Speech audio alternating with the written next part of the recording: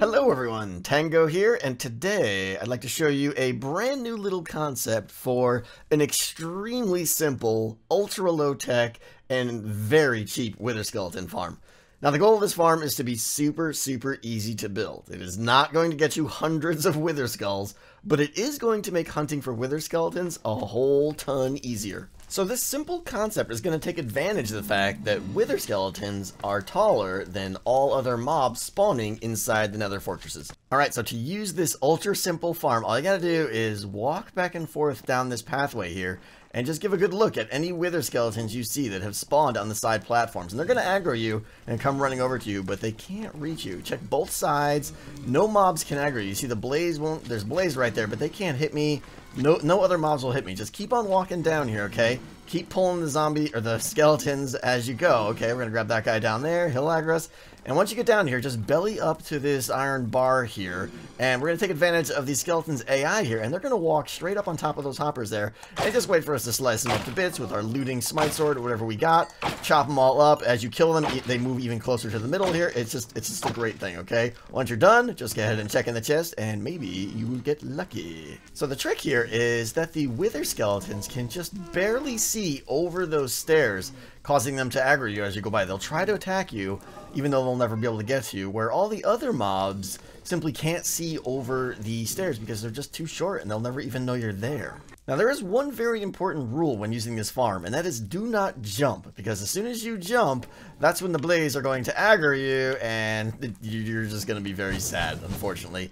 Now, even if we put a slab above us here, it will, you know, make it so we can't jump as high, but all it takes is just uh, the ever so slightest increase in our height, and the blaze can see us, so even that slab won't stop that, unfortunately. Alright, so by far your most important decision when building this farm is going to be deciding where to build it. You're going to want to find a fairly large nether fortress and then try to find a section of it that is around as few spawnable blocks as possible. Now obviously there's always going to be a ton around, but just do your best to definitely minimize that and it's going to really improve the rates in the end. Typically uh, fortresses that are over large oceans of lava are going to be your best bet, so look for those. So the thing to keep in mind with this farm is that it can be built anywhere inside the entire bounding box of the Nether Fortress. If you don't know what a bounding box is, imagine a box, a rectangular box that contains every single piece of the Nether Fortress. Every tunnel, every corridor, every room, everything. Naturally, this box is going to be big. Yeah, something like that. So what I've got here is a client mod that clearly shows the bounding box of all nether fortresses in the area. It was made by a buddy of mine named Irity, and if you want to check it out, I will leave a link in the description down below. I highly encourage you to do so. Uh, one of the cool things is it actually allows you to toggle the individual components of a nether fortress, which is pretty cool stuff too. You can kind of see how that was assembled piece by piece. Now obviously I've removed a lot of it for the sake of this tutorial, which is something you might want to consider doing as well. Now you'll notice a lot of times the bounding box of a nether fortress will extend pretty much further than you would expect based on what the components are showing here. Like in this case right here, you, you know, the bounding box is sticking way out over here where you wouldn't expect it given that the components seem to end all over there. And that is because the bounding box, if you keep keep in mind, it is all of the components of the fortress. And you can see there's another one here that stuck out a little bit. So with a little bit of exploration, even without this mod, you can you can easily find the full extent and the full bounding box of your nether fortress, and it's totally worth it because you can definitely take advantage of it and figure out the optimal space to put your farm. Now, once you've identified the section of the nether fortress bounding box that you want to build it in, you're going to have to figure out which direction you want to actually build the farm in and how long you want to make it. Now, the longer the better in this case, okay? The longer it is, the more likely you are to get automatic despawns as you go from one end to the other, and that is going to give you a constant fresh supply of new spawns as you keep going back and forth, which is very much a good thing. Okay, moving on to how to build this thing, and if you haven't figured it out yet, it is incredibly simple. So here we are in a void world, I'm going to do it this way just so it's easier for you all to see. So getting started here, the base of your farm has to be nether brick blocks. You got to use the full blocks here because wither skeletons will not spawn on slabs, so just keep that in mind. The block that you're going to be walking on down the full length here needs to be a daylight sensor, and that's because it has a, a very unique height, which is a little bit shorter than a half slab.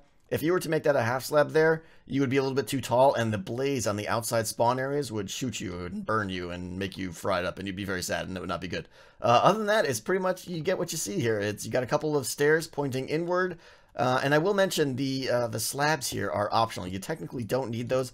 I prefer them. It seems to give you a little bit more enclosed feeling, but they are optional if you want to cut those out. Okay, so for the spawn platforms on either side, this is going to be symmetrical here. From the edge of your stairs there, come out 15 blocks of nether brick. Alright, and then up from there, 14 of those blocks are going to be what you want as spawnable, and the 15 one here is just for enclosure. I prefer glass panes. It makes a nice look there, but obviously if you want to save the glass, you could use solid blocks or whatever you want there. And then just give it a slab roof on the bottom slab there so nothing can spawn on top of your farm, and carry this all the way back down. And that is it for about 99% of your farm. So just take this and stretch it all the way down the full length of your farm. Leave a little bit of space on the ends and I'll show you how to build those end caps. All right, once you have the farm built to the length that you want, you want to want to build the end caps over here. So here we go. On the end now, you're going to put a chest on that one block past the last daylight sensor. Put a chest there. That's obviously we're going to pick up your nether skulls and all that stuff. Take an iron bar and place it right on top of the last daylight sensor, just like that. From there now, you're going to want to take some hoppers Put one into the top of the chest and two into either side, like so, so that they're all facing and Obviously, the wither skeletons are going to die up there, and wherever they die, the items will go into the chest down below. Okay, now what you're going to do is want to make some stairs for the withers to, or the wither skeletons to climb up. So two stairs like that, do it on either side, like that, and like that. And then go ahead and fill this all in in between with solid blocks, like so, da, da, da, and then put a little bit more back there. There you go, you get the idea. Now, from up here, you're going to break out these two slabs right there and put more iron bars there and there. And then on the other side, even with the end hoppers, you're going to want to break out three more. One, two, three, one, two, three. Okay, so that they, it looks just like this. One more block past the end of the stairs there. That's just the right spacing and gaps and everything you need for the wither skeletons to climb up there, but not ever be able to hit you.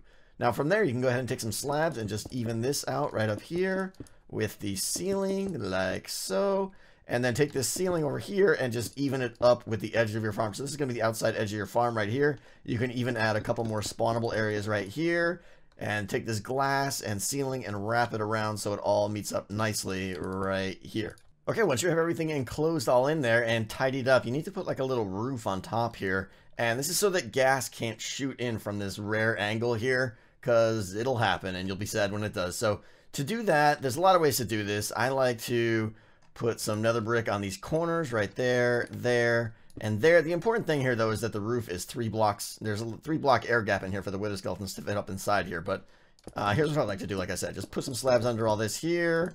Again, a lot of this is just for looks. You could do whatever you want here, just as long as it's going to block uh, ghasts from shooting you. Take some glass panes and put some a, a line there. Again, this is if you did glass on the outside of your farm, this would match and make it look a little bit better. And then from there, just go ahead and put some slabs and put a slab roof on this whole thing. Okay, now for those of you paying attention, you're probably asking yourself, how do I get inside this thing right now? And that's a very valid question. So there's a couple of things I can recommend here, okay? One is if you want to come in from the side, you could do something like this, okay? Just obviously do two high wall here with some buttons all the way down to stop spawning. That could be carpets or whatever. Uh, pretty straightforward stuff here. Just don't use slabs here. Because even if you take this up three high, don't use slabs. Because then there's the mobs on this side will aggro you as you're in the hallway. So uh, no slabs, just buttons or carpet or whatever else you want to use to stop spawning in there. That's kind of the quick and dirty method. The other option is to do something a little bit better. If you're going with the glass panes route, you could do glass panes like this all along the side. Looks a little better. You could even leave the bottom open here. I think that kind of looks nice. And then some carpet here as your walkway entrance in. Kind of gives you a hint for how spawns are looking to as you're coming in. Now, obviously, both of these side entry options are going to have the downside of as you are pulling mobs, you're going to run into that wall there. So any mobs from here down, you'd have to pull that way. Any mobs from the other side down, you have to pull the other way. So you might want to consider doing this down toward one of the end caps to to reduce that awkward crossover there. That is a, an option there to consider. Um, the other thing, the other way you could get in, which I haven't done myself, but theoretically, if you want to come up from the floor, it should work just fine. You just have to add a few more slabs here so that blaze don't aggro you through that gap there when you're coming up and then just poke a hole through, put your ladder there. And then generally for the most part, you'll you'll run right across when you're sprinting, but there's sometimes you might bump and it gets a little bit annoying and stuff. Uh, you just got to be careful when you come up the ladder, you don't jump up too high. The important thing is with all these designs is as you're coming in, don't aggro the mobs. Okay, one last note here because I'm sure many of you will ask, and that is can this be stacked? The answer is definitely yes, okay? So from your main corridor line here, what I would do is in your entry area here, I would be able build a stair ladder up like this. Is probably what I would do. I haven't done it. There might be other options. Obviously, again, the, the entire point is just don't aggro mobs as you're going up and down between the floors. Uh, something like this would work. I would end cap off this like this against, you know, as you're up here. You, you know, if you didn't end cap that, you don't want to be able to see the mobs over there. So solid blocks all the way up there. Uh, and then once you're up here, you're good to go. At this point, you know, your ceiling isn't, not, isn't a ceiling anymore. It's the floor for your next level. Pretty easy stuff. Most nether fortresses are tall enough where you can actually fit nine levels of spawn platforms if you really want to go nuts. Uh, and the other thing to consider if you're really going crazy on this thing is maybe put a, uh, a a run speed beacon in here so that you can run up and down these corridors a little bit faster might help. Just something else to consider. Alright guys, that is going to do it for today. If you thought this design was pretty clever, you liked it, do me a favor and hit that like button. I would really appreciate it. And if you are new to the channel, maybe consider subscribing if you want to see more tutorials just like this one. And uh, as I said guys, thanks for watching. I will see you next time. This is Tango, and I am out.